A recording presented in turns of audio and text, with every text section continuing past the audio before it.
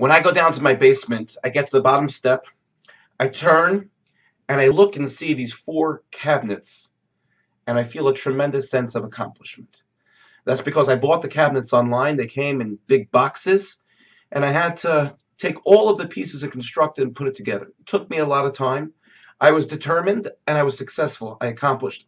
So every time I look at those cabinets, I feel good. And yet, there is something else that I feel. That's because on one of the cabinets, at the bottom, each of the cabinets is white. The bottom of one of the cabinets is not white. It's actually wood color. The wood is showing. And the reason is, is that I made a mistake. So I'm reminded of my mistake every time I look at the cabinets. Mixed emotions. What happened? Well, when I was putting the cabinets together, I skipped a step.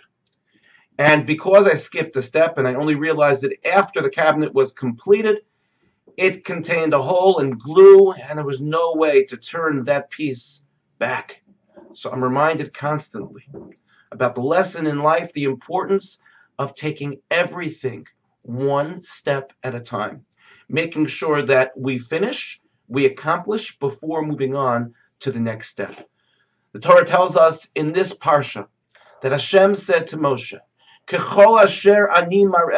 when it comes to building the Mishkan, whatever it is that I show you, meaning however Hashem showed Moshe to construct the Mishkan, you should do as Tavnis HaMishkan, as Tavnis Kol whether it's the Mishkan itself or all of its vessels, V'chein ta'asu, and thus you should do, which seems that those two words, V'chein ta'asu, seem extra. And Rashi explains that it means lidoros, forever. Rashi explains that the Torah is teaching us here a Seder an order. That everything in life has an order, just like the building of the Mishkan had an order. Now, Simcha Bunim Pshischa explains even further.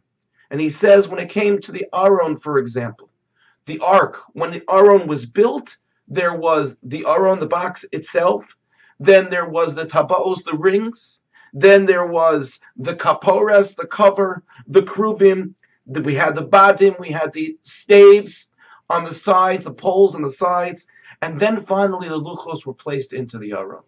And so he says that Hashem is teaching us with the words, as Rashi says, V'chein ta'asu lidoros, for generations, that when it comes to anything that we do in life, if we want to be successful, we have to make sure that we go in order, that we don't skip a step, because potentially, if we skip a step, we're skipping the experience that we gain through the, the, the step itself.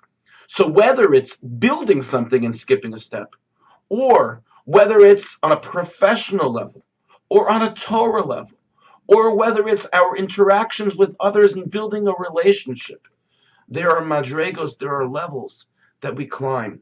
And if we climb straight to the top without touching all the other levels first, we may think that we're getting to the top but usually, what ends up happening is that we lose out on the experience that makes us stronger and more successful as we go along the rungs of the ladder.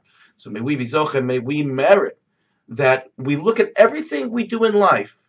We make sure that we're able to internalize each and every step, that we don't skip or jump, so that we can truly make sure that our experience is worthy for ourselves.